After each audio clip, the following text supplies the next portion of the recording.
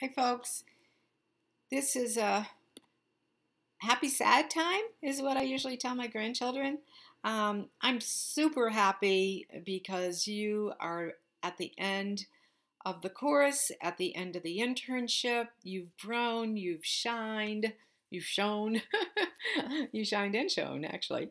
Um, it's a fascinating, you know, all the work that you've done, and I am credit incredibly proud of each and every one of you, as you should be.